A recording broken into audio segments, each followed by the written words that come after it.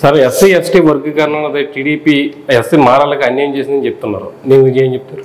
ఇది ఎవరికి ఎవరికి అన్యాయం చేసేటటువంటిదిగా ఎవరు కూడా ఆలోచించిన అవసరం లేదు. ఎందుకంటే ప్రతి ఒక్క కుటుంబంలో ఉన్నటువంటి ఫలాలు ఏవైతే ఉన్నాయో ఒక ఆస్తిపాస్తులు ఏవైతే తల్లిదండ్రుల ద్వారా సంక్రమించినటువంటి దానిని కొడుకులకి కూతుళ్ళు కానీ ఎవరున్నా సమానంగా పంచుకోవడం అనేది పూర్వం నుంచి కూడా ఆనవాయితీ ఉంది. అదేవిధంగా ఎస్సీ వర్గీకరణ సంబంధించి పూర్వం తెలుగుదేశం ప్రభుత్వం ఉన్నప్పుడు ఉమ్మడి రాష్ట్రంగా ఉన్నప్పుడు అదేంటంటే ఒక జనాభా ప్రాతిపదిక మీద బీసీలు ఏబిసిడికి ఏవైతే ఉన్నారో అదేవిధంగా ఎస్సీసీలో కూడా మళ్ళీ డస్టిస్లో కూడా అడుగుతున్నారు. జనాభా ప్రాతిపదిక మీద రిజర్వేషన్ అని ఇచ్చినట్లయితే అన్ని కులాల్లో ఉన్నటువంటి అందరికి కూడా సమానం జరుగుతుందని చెప్పిన ఆలోచనతోటి ఆనాడు తెలుగుదేశం ప్రభుత్వం ఎస్సీ వర్గీకరణ ఏబిసిడి చేయటటువంటి జరిగింది.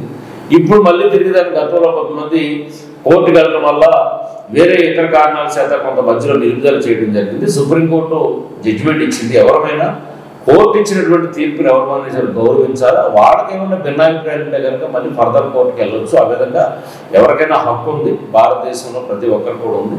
కాబట్టి అది కోర్టు పరిధిలో ఉంది కోర్టు ఇచ్చింది కాబట్టి కోర్టు ఇచ్చినటువంటి దాన్ని కొన్ని రాష్ట్రాలు అమలు చేస్తారు ముందుకు వచ్చి మరికొన్ని రాష్ట్రాలు అమలు చేయడం కోసం తజ్జన వజ్జన పడి దాని మీద ఒక అధ్యయనం చేస్తున్న పరిస్థితి ఉంది కాబట్టి అది కోర్టులో ఉన్నటువంటి అంశం కాబట్టి కోర్టు ఇచ్చిన దాన్ని ఎవరైనా గౌరవించాలి కాబట్టి అది ఇంకొక క్లారిటీ ఒక కొంత జడ్జిమెంట్ వచ్చినప్పటికీ కూడా మరి కొంతమంది కోర్టుకి వెళ్తా ఉన్నారు కాబట్టి కోర్టు ఫైనల్గా జడ్జిమెంట్ ఏది ఇస్తే దాన్ని ఎవరైనా శిరసా వహించాలని చెప్పి తెలియజేస్తాం సరే ఎస్సీ ఎస్టీ వర్గీకరణ రాజకీయ కోణంగా చూడొచ్చా?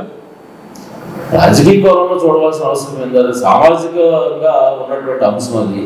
ఏదో ఒక కొన్ని కులాల్లో ఉన్నటువంటి వాళ్ళు దాదాపు ఎస్సీసీలో యాభై తొమ్మిది కులాలు ఉన్నాయి. యాభై తొమ్మిది కులాలు ఉన్నటువంటి వాళ్ళు మాకు జనాభా ప్రాతిపదిక మీద వాళ్ళకున్న ఇబ్బందులు వాళ్ళకున్న కష్ట సుఖాల గురించి వాళ్ళు మాకు కావాలని చెప్పని కోరుకుంటూ ఉన్నారు. అది వాళ్ళకి ఉన్నటువంటి హక్కు.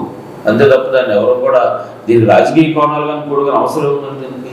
ఇప్పుడు ఎవరైనా అనేక సమస్యల మీద అనేక ఉద్యోగ సంఘాలు వస్తూ ఉంటాయి అనేక కుల సంఘాలు వస్తూ ఉంటాయి అనేక మతాలకు సంబంధించిన వస్తుంటారు వాళ్ళ కొన్ని డిమాండ్స్ గురించి మాట్లాడతారు.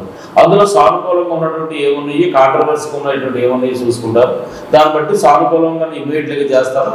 కాంట్రవర్సీ ఉన్న అంశం ఉంటుంది దాని మీద ఒక అధ్యయనం చేసి ఒక కమిటీ చేసి వాళ్ళు ఇచ్చినటువంటి దాన్ని బట్టి అధ్యయనం చేసిన తర్వాత ఇరు పక్షాలకు ఏదైనా సరే ఏ నిర్ణయం తీసుకున్నా సరే ఇరుపక్షాలకి న్యాయం జరగాలి ఇరుపక్షాలకు ఎవరికి అన్యాయం జరగకూడదు అనే కాన్సెప్ట్ అనేది అలా ఏ విషయం సరే తీసుకున్నప్పుడు. ఇది చాలా సున్నితమైన విషయం కాబట్టి చాలా ఆలోచించి ఖచ్చితంగా ఇరుపక్షాలకు కూడా అన్యాయం జరగకుండా నిర్ణయం తీసుకోవాలి. ఓకే